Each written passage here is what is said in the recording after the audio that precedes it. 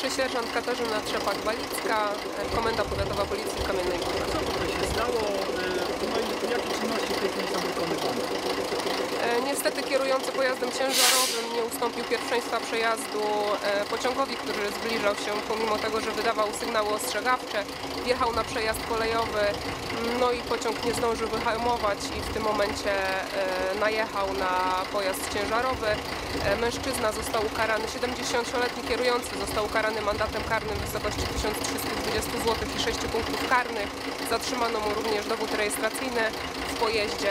Obecnie na, mej, na miejscu trwają czynności, aby rozłączyć te dwa pojazdy. Wezwana na miejsce Straż Pożarna e, będzie musiała e, użyć tutaj swoich środków, aby, aby te pojazdy e, mo, można było rozłączyć i tutaj wzmożyć ruch na, na tej drodze.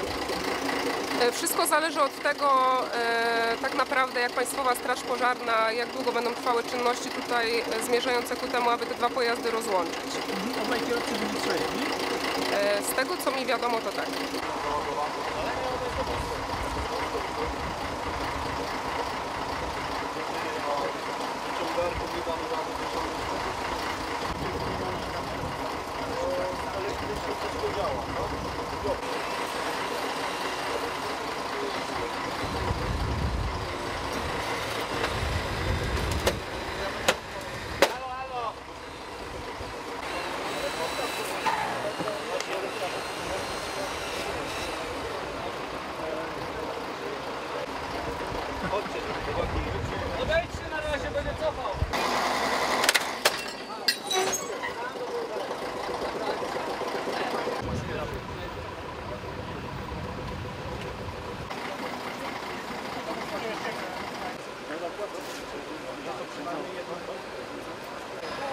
Ciężarówka w okresie takim, w że ciężarówka będzie